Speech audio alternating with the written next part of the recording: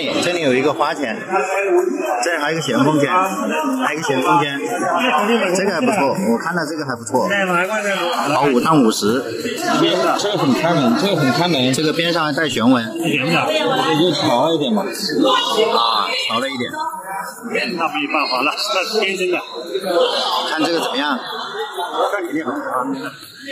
生意还蛮好，生意蛮好，这个多少钱？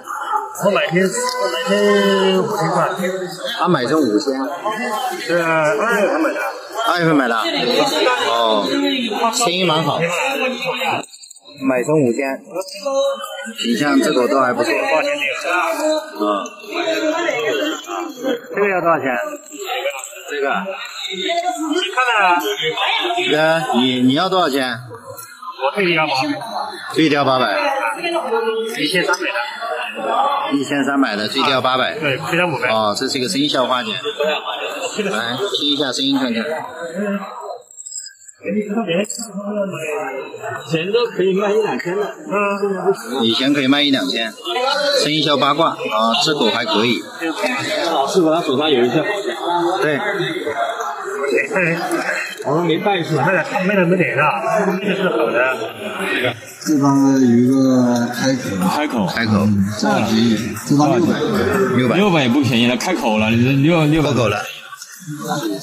这破口破的蛮长的，那。对对对，口破的太长了，那板子还蛮硬哦，它用胶粘了，你看，脚脏轻微粘了一下，明显的动过手。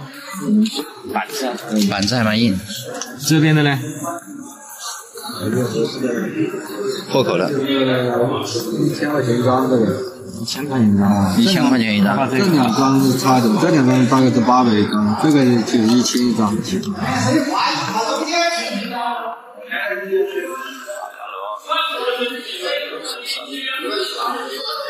车工一千一张，这个好像也轻微破口了。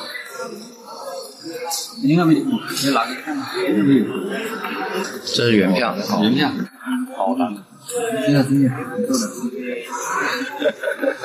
喊价，喊价多少钱？两千块钱，喊价两千块钱。那你给多少？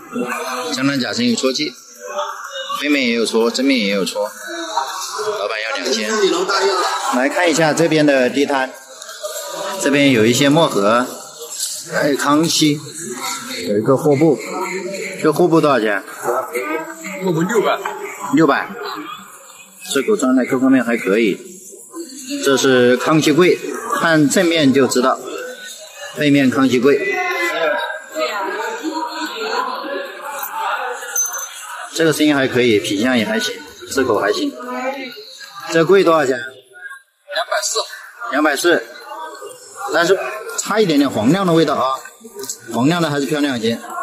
这个康熙就黄一些，康熙酥，这个康熙酥呢，生意也蛮好，价格差不多。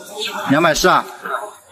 康熙酥、康熙贵都是康熙里面略微少见一点的塑造局，在贝制局里面比普通贝制局要贵一些。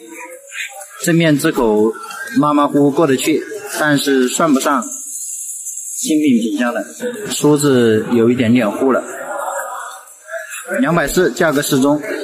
啊，这这里还有很多钱币。这炼钢多少钱呢？啊，炼钢炼钢三百。三百，全品，是不是全品？产品产品原票。